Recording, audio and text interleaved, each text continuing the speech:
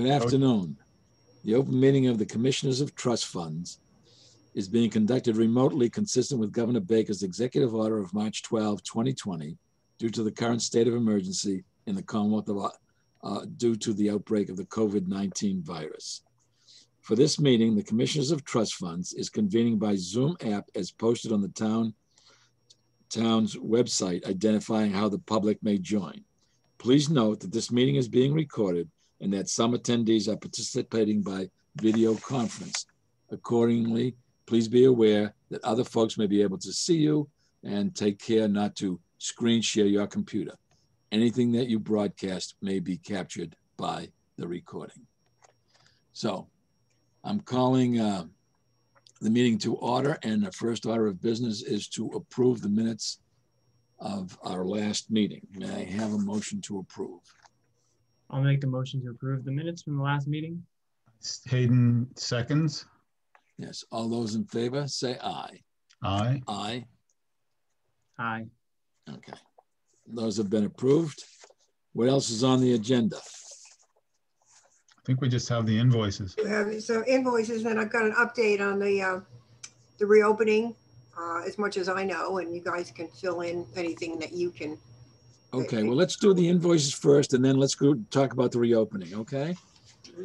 Uh, Hayden had a, a, question on the uh, invoices in terms of that very large expenditure from the library. I had the same, well, I also had a question about that.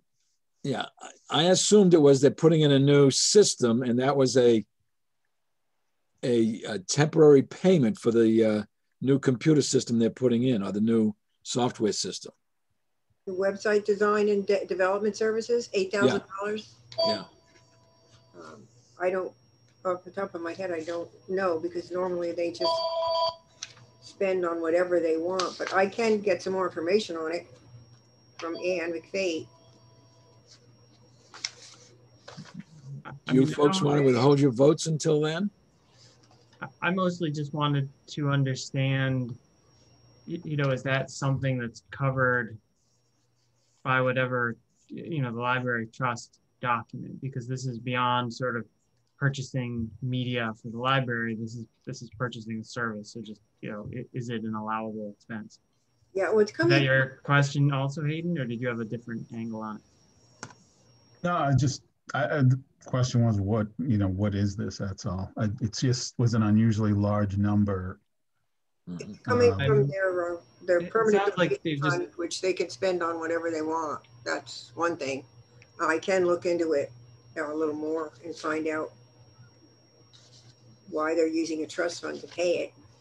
Yeah, if they're improving the website, that's a good thing because I do use their website and it could use an improvement. Hmm. It's- You know, I'm not, I'm not complaining about it. I'm just saying it could be better. Yeah, u- understood. And I mean, I, I'm not suggesting anything is wrong with the spending. I just, you know, Evie, so you're, you believe that it's consistent with the library trust that they can basically spend on whatever they want? Yeah, let me ask some questions because I'm wondering if they have our IT department involved in this or they just, they have every right to go off on their own and redo whatever they want, but usually they do involve the, the town's IT department. Okay, well, we- we'll withhold the, we'll withhold it until you come back with some information. Yeah, we, we can, we can hold it. We don't have to pay it. We can, All right. I don't even see any backup, to be honest with you.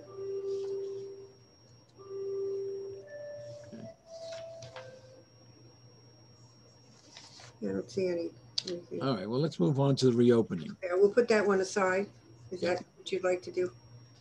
Mm-hmm. Yes. Okay. And the two of you voted for the other uh, invoices, or the other invoice. Yeah, I mean, should we be formal about it? I mean, I, I, I approve those for payment. All right, so all those in favor say aye of the invoices other than the one with the website development on it. Aye. Yeah, aye, Aye. aye. Okay, so we got ayes on that. All right. Now, Evie, can you talk to us about the reopening? Yes, we've had several meetings, and as you know, um, the executive order is going to be lifted on June fifteenth. And the town hall is going to be open to the public, no more by appointment only on June first. We are to, our staff is to come back to work as usual, as much as they can. We do have certain individuals who have childcare concerns and because camps are crazy this year, apparently some are not. I don't know, Dan, if you run into this, but some camps are not open and some are called shine camps because they can, there's no indoor facility because they're still requiring the little ones to wear masks and kind of, kind of social distance. Um, the uh, social distancing is gone. Yeah. And the uh, mask wearing, I'm sure you've heard, is kind of optional. My staff in the treasurer's office has said they want to continue to wear their masks. That's fine. They will continue, and I will continue when I'm out of my office to wear a mask. Um, what else was it? Um, and it's basically the CDC guidelines is what they're following. Anyone who has been vaccinated can come and go as you please and, and, you know, do whatever you want. Anyone who's not vaccinated is of course still required to wear a mask, but of course we don't know who's still not vac- vaccina- vaccinated. But what they're saying is that it doesn't matter because if you're vaccinated, fully vaccinated, that um, you cannot transmit it or you will not be able to to catch it from someone who has not been vaccinated. That's what we're being told. The Well, at our next meeting in June, do you want us to wear a mask or not wear a mask? It doesn't matter to me. Oh, I don't, it's up to the, it's up to the group. Um, I, I'm fine not to wear a mask, but if anyone is, um, you know, un, uncomfortable, I, I'm happy to wear it. How about you, Dan? I'm in the same camp as Hayden. I'm perfectly fine without it at this point, but I will do it if someone would be uncomfortable otherwise. All right, so let's all bring a mask, but we don't have to wear them, okay, at the next meeting. Um, capacity, the capacity limits have been lifted, so there can be as many people as you want in a, in a room or. As far as public meetings, the selectmen met last night, the, the governor has proposed legislation that would make Zoom meetings optional until Labor Day. The Board of Selectmen met last night and had a lengthy discussion about what we, because we can, we can do our own because it's optional. The town can determine what they want. So they're going to be discussing it again, I believe, on June 9th. Yeah, June 9th. Um, and make a final determination because there was a split. There were, Well, as far as how that affects us, don't we kind of have the opposite question, which is, I think we all agree we'd like to meet in person next time. Are we required to broadcast that on Zoom still, or no? no, that's, that's what, that's what a lot of the committee meet, committees are having a problem with because they want to do it the kind of Zoom and in person. And the IT director, who was the gentleman that was just up here, he said, there's just no way that he can do that. He- That he can set it up to Right. Have it Zoom and in person. And if it's in person, um, if you do it that way, the chair and a quorum has to be in the room. So, I mean, there's only three of you, so, you know, it would have to be Joe and one other in the room. And then like Dan could, or or Hayden could Zoom in, I guess. Um, But I think it's up to you to make a decision as to whether you want to continue with Zoom, because I know you only have one more meeting before the summer comes. Or if you want to meet in person for your June meeting. I I would prefer to meet in person. I, I agree. I, I would as well, if everyone's good with, you know, being that, do, doing that. Um, I also support meeting in person. Okay, Okay. Debbie, you good with that? yeah, I'm Debbie? fine. Are you Yeah. kidding? I'm, I'm all for not wearing a mask. Okay. Now, on a, on a subject tangential to this, I understand that the school com- department is trying to take over the senior center and change it to a community center. Is that true? I don't know. I've not heard that. I've heard that from the grapevine, which upsets me no, no end. Well, the school department has been using it as administrative offices uh, to, to make more social distancing. And so I think they said they were going to continue doing that for some additional amount of time, but I'm, I don't know if they were gonna permanently take it over. Well, the senior center is going to open, I believe they said July something. July 14th, July 17th, it's in mid-July sometime. The senior So if center? gonna Open. Yeah. How's the school administration people gonna, I don't know. I have not heard that though, Joe. Yeah, they have this, they have their own administrative building. Yeah. It's huge. The Emery Grover, yeah. Yeah. Well, anyway, we'll see what happens. Okay. Um, I'll have to snoop around, see if I can, to look around and ask people, see if I can hear, hear anything. uh, But that's, that's it. If you, you know, any other questions? Um,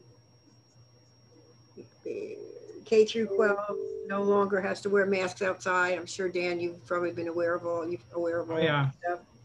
Um, I didn't really pay too much attention, but um, effective 518, any sports won't have to wear face coverings. And I guess none of the kids have to wear face coverings outside, I think. Right. No, they, yeah, that's right. They, they've stopped it for the uh, sports events, which is. No, They won't thing. have to, but no.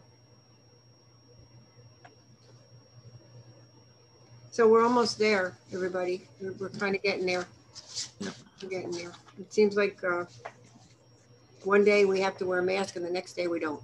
So that always confounds me, but I guess they have to have a start and stop somewhere. Yeah. Okay, any other business, new or old? Okay, prior to adjourning, let us decide what day we're gonna meet in person in the town hall in June. The two Wednesdays possible are the third Wednesday, which is the sixteenth, and the fourth Wednesday, which is the twenty-third. This is the last meeting before our September meeting, so let's uh think And about which one Peter- we'd like. Sorry, Joe, it's going to be the scholarship meeting, so maybe a little bit, or maybe the 16th, if everyone can make it, would be better. Okay, I'm fine with either one. I'm fine with sixteenth. Dan? Works for me. Okay. So that takes care of that. So four thirty on the sixteenth? So, Evie, does this mean it'll be a bit longer meeting? Is that true or not likely? I'm sorry, well, I no longer, Uh, You're saying this because of the scholarship meeting, will it be a longer than normal meeting? I can't really remember. no, I think you just review it, curse, give it a cursory review and talk about certain scholarships and Right? I don't know. So I, Joe. I thought, I think we're planning to get dinner after. So should Yes. we we? start, so should should we we- start later? Should we Yeah, I was gonna say maybe we should start at five Okay, or a little later. I, I don't know. Anybody? Five would be fine. Okay. All right, so, All right. five o'clock uh, on the 16th, 5:30 on the 16th, Do five. five. Five, yeah. so June 16 at All right. five. Okay, All right. So now I'll entertain a motion to adjourn. I make a motion to adjourn. I'll second the motion to adjourn. All in favor, say aye. And the Aye. ayes have it. All right. Okay, right, I'm Uh, sorry I'm- about the, were you able to get on or you had to wait? we had to wait. We couldn't get in until you, I mean, I've been, I've done so many Zooms. I've never had that happen to me. I might have set it up wrong. I, I don't know. um, I'm gonna drop off because I have another call, uh, that, another Zoom at five that I thought we would be done by, so. Oh, I'm sorry. Well, That's okay. It's all right. Hope it goes See- better. We'll see you All all right. later. See you later. Look forward All to seeing you next month, truly. Thanks, everyone. Yeah. Bye-bye. Thank you, guys. Yeah.